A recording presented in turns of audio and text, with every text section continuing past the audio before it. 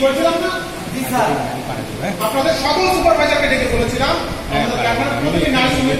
বেশি যাতে করে কেউ তাদের তথ্য বা হয়রানি করতে না পারে।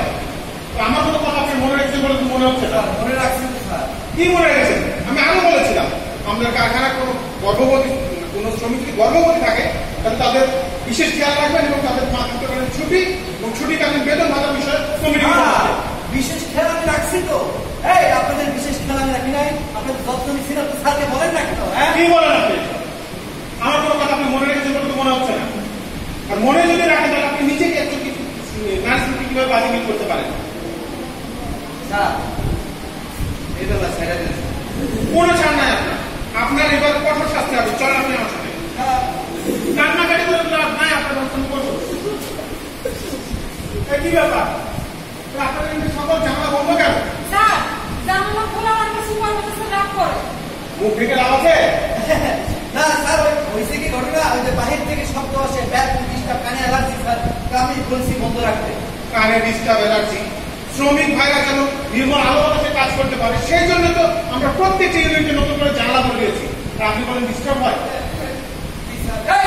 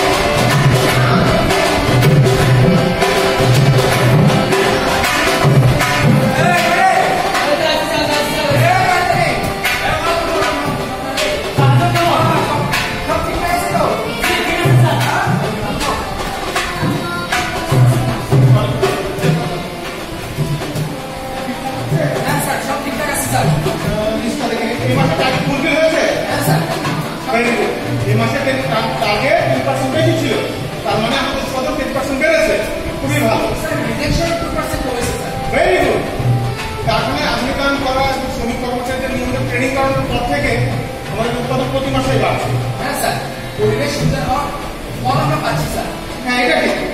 গত কয়েক বছরে আমাদের কারখানা অনেক কিছু করতে গেছে। নতুন মেশিন উৎপাদন ব্যবস্থা শ্রমিক কর্মচারীদের ট্রেনিং সেই সাথে বেতন দেয় স্যার আমাদের কারখানায় আসলে আমি খুব ভালো লাগে স্যার। হ্যাঁ, হ্যাঁ। আমরা মনের আনন্দে কাজ করতে পারি। ঠিক ঠিক।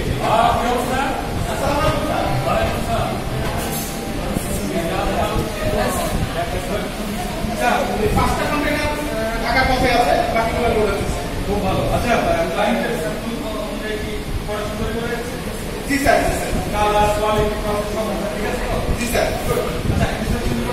জি স্যার করতে উৎপাদনের প্রতিটি পর্যায়ে আমরা কোয়ালিটি কন্ট্রোল মনিটরিং এবং রিপোর্টিং করেছিলাম যার জন্য খুব সহজেই আমরা স্যার পেয়ে গেছি। গুড এভাবে গুছিয়ে কাজ করলে ইনশাল্লাহ আমাদের কোনো সমস্যা হবে থ্যাংক ইউ স্যার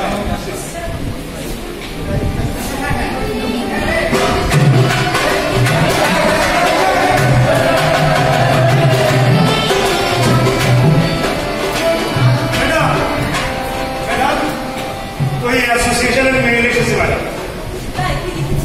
লিখেছে? আমরা যদি কমপ্লায়েন্স ফুলফিল না করি তাহলে আমাদের মেম্বারশিপ রিনিউ করবে না। চাপ চাপ চাপ। হ্যাঁ ম্যাডাম ম্যাডাম ওই যে কিন্তু অনেক স্যার তারা শুধু ভয় দেখাচ্ছে আমাদের কাজের অর্ডার বাতিল করে দেবে। নতুন অর্ডার দেবে না।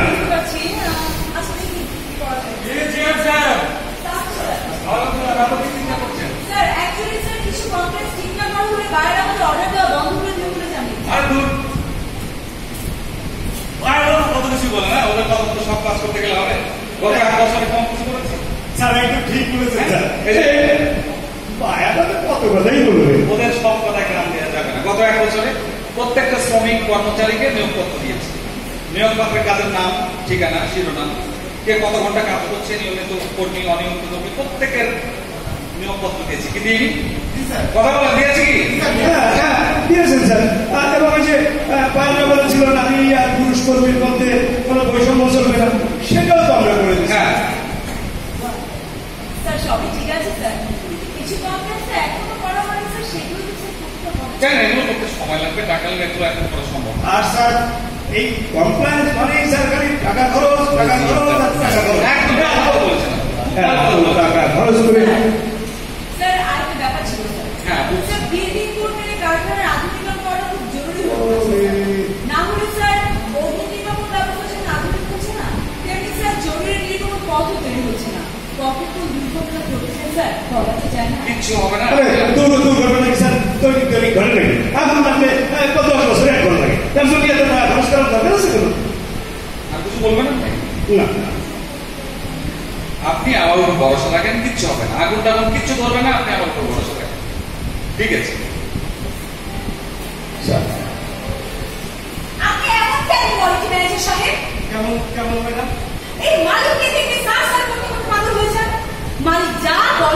হ্যাঁ হ্যাঁ মানে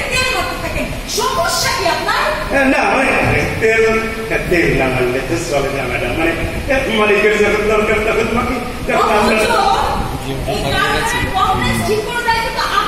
অবশ্যই আমার আমি কোয়ালিটি ম্যানেজার কমপ্লায়েন্স যাই আমারই তো দায়িত্ব এখন মালিককে যা যা বললাম সেটা তো আপনার করার কথা ছিল তাই না নিশ্চয়ই নিশ্চয়ই ম্যাডাম আমি কমপ্লায়েন্স না দেখলে কোম্পানির কমপ্লায়েন্স কীভাবে আশ্চর্য কোয়ালিটি ম্যানেজার সাহেব এতক্ষণ মালিকের সামনে আপনি কি বলেন আর এখন আমার সামনে আপনি দাঁড়িয়ে কি হচ্ছে ম্যাডাম মালিকের সামনে যা বলবে মালিক খুশি হয় তাই হচ্ছে এখন আপনি যা বলতে খুশি হবেন তাই হচ্ছে এর মানে কি? মানে আপনি অনেক সুন্দর তো ম্যাডাম। ম্যাডাম তার মানে বিয়ের আগে বললে খুশি হতেন?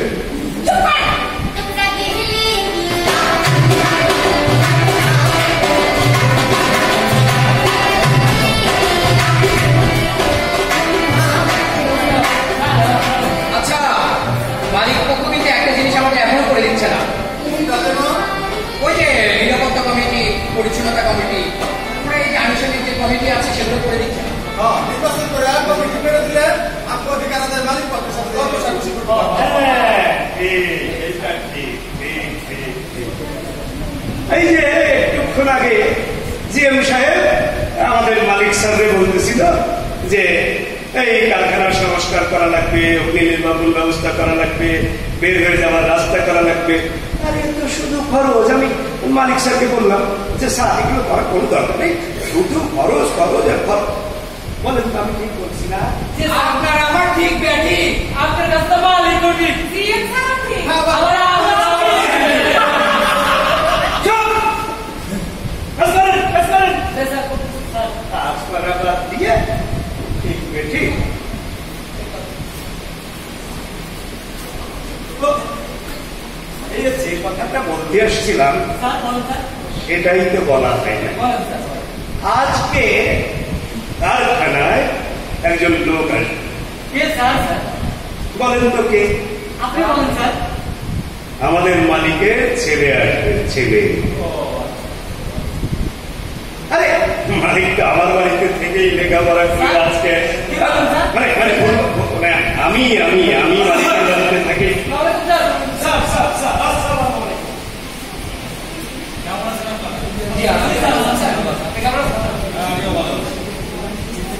আজ আমি আপনাদের সাথে বিশেষ দেবো সে হচ্ছে আমার ছেলে কামরুল অফিসে লেদার ইঞ্জিনিয়ার এবং লেখাপড়া করে আজ থেকে এই কারখানায় আপনাদের সাথে কাজ করবে বাবা কামরুল তুমি কি কিছু বলতে হ্যালো আমার বিশেষ কিছু বলার নেই। মানে আপনারা তো দীর্ঘদিন ধরে এই কারখানায় কাজ করছেন। আমি নতুন এসেছি। আমি আপনাদের কাছ থেকে অনেক কিছু শিখব জানব বুঝব। তারপর আপনাদের সাথে যাব। আপনারা শিখবেন তো আমাকে? স্যার। স্যার স্যার আমার একটা কথা ছিল আর আর কোনো কথা না। আপনাদের সমস্ত বাধ্যবাধকতা বাবা শুনি না কি বলতে চান? হ্যাঁ বলুন বলুন কি বলতে চাচ্ছেন স্যার আমাদের কারখানায় আগুন লাগিয়ে নিয়ে কোনো ব্যবস্থা নেই আমরা খুব ভয় হয়ে থাকি স্যার? হ্যাঁ স্যার। আর ওই যে কোনো দুর্ঘটনা ঘটলে বা আগুন লাগলে জরুরি বের হওয়ার রাস্তাটাও নাই স্যার। স্যার আরেকটা কথা স্যার। স্যার আমাদের কারখানায় অংশগ্রহণমূলক কমিটি নিরাপত্তা কমিটি এই সব কোনো কমিটি করা যাবে না করলে ভেজাল পাবে না। কথা যাবে না। ধরুন ভেজাল পাবে বলা। যাবে না স্যার ঠিক বলছেন হ্যাঁ একদম ঠিক আছে। সময় একটাই করে দিতে। হ্যাঁ।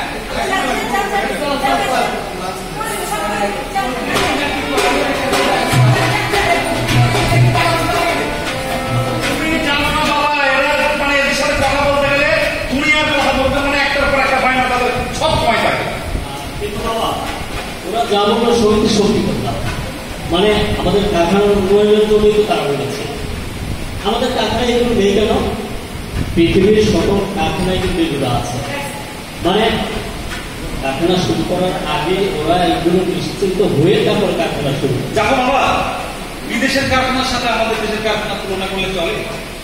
এসছো ওদের সাথে কাজ করো। দুদিন পরে তুমি নিজেও বুঝবে হ্যাঁ তা ঠিক আছে। কিন্তু তবুও তো ভাবতে হয় যে একটা কারখানা আমাদের পরিবেশকে দূষণ করছে কিনা। স্বাস্থ্য ঝুঁকি হ্যাঁ হ্যাঁ, স্বাস্থ্য ঝুঁকি আছে কিনা পেশাদারের ঝুঁকি আছে কিনা। ইত্যাদি সব এইটা তো তুমি স্যার বলেন স্যার, মানে স্যার আপনি তো বলতেছেন এই ইউরোপ আমেরিকার কারখানার কথা। এইটা তো বাংলাদেশ। আমাদের আমাদের প্রোডাক্টগুলো তো ইউরোপ আমেরিকাতেই যায় তাই নাকি? হ্যাঁ?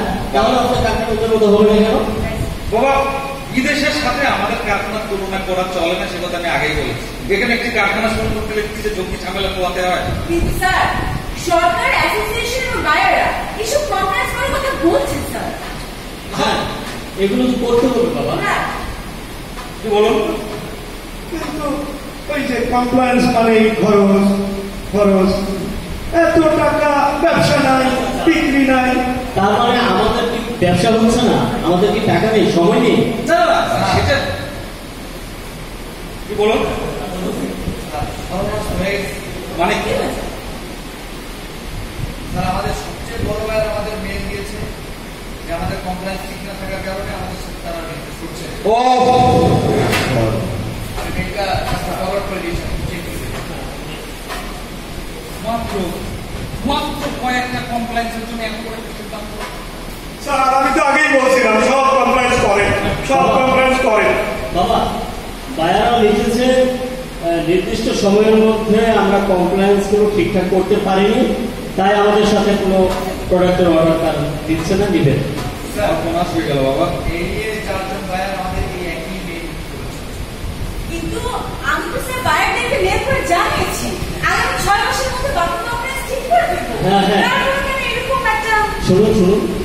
তারা তাও লিখেছে লিখেছে যে আপনারা তিনবার মানে আরও তিনবার তিনবার আপনারা কথা বরখেলাপ করেছেন তাই তারা এগুলো করতে পারছে না। আপনাদেরকে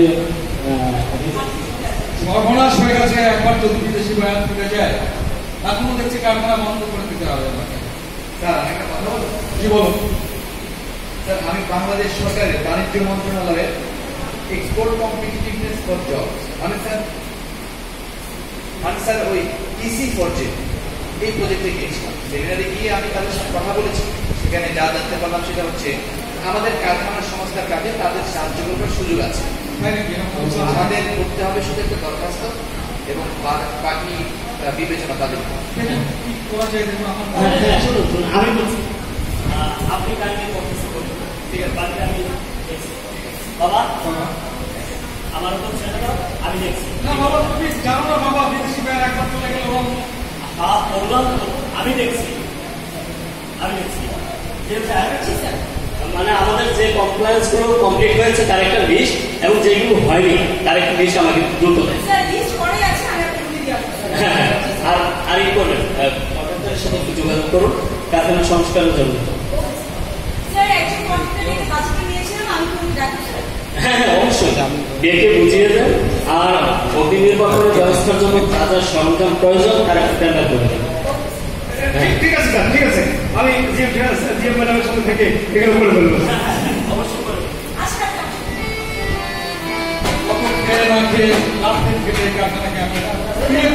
আচ্ছা সামান্য একটা ভুলের কারণে আমার সেই কারখানা আমি চেষ্টা করে দেখি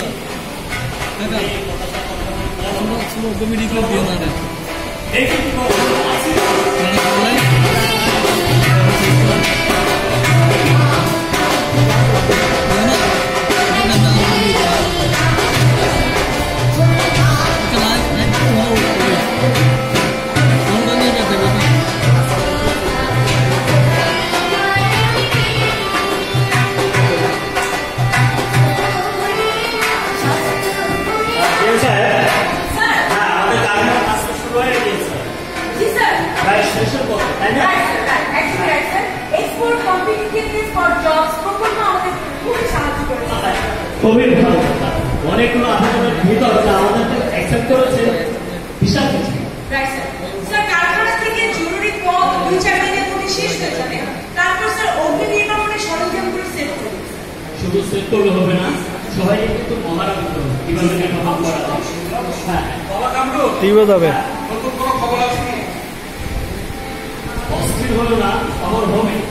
করি আমরা যাবে ওখানে?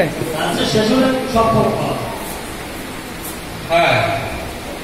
স্যার স্যার বাইরে মেলে এসে গেছে স্যার কি লিখেছে তারা লিখেছে আমাদের কমপ্লাইন্সের অগ্রগতি তারা খুব খুশি এবং তারা খুবই দ্রুত আমাদের কারখানা ভিজিট করতে আসবে আলহামদুলিল্লাহ।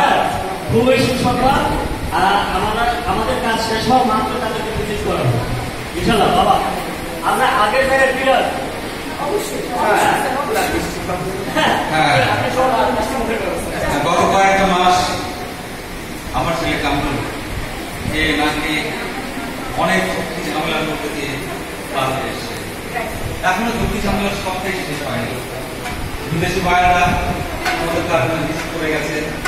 ফেডারেশনের লোকজন করে গেছে তাদের রিপোর্ট যদি ভালো হয় আমাদের এই কোম্পানির মাল আবার এসো হ্যাঁ, চলো।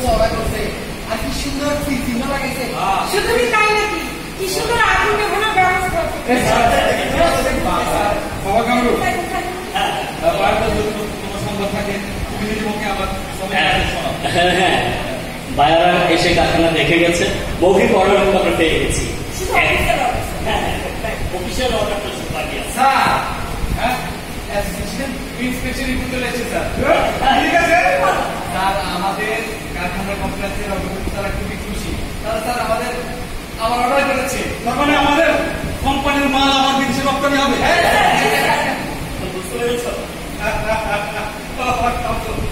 আজ আমার কোম্পানি যেখানে চলে গেছিল সেখান থেকে তিলে তিলে আমার ছেলে আবার আবার আগের জায়গায় তুলে গেছে এই সমস্ত কৃতিত্ব একমাত্র আমার ছেলে কামুলে না না আমার একার কোনো কৃতিত্ব নেই। এই যে আমাদের শ্রমিক ভাইয়েরা আছে ওরা সহযোগিতা করেছে বলে আজকে আমরা আগের জায়গায় ফিরে এসেছি। জি, স্যার।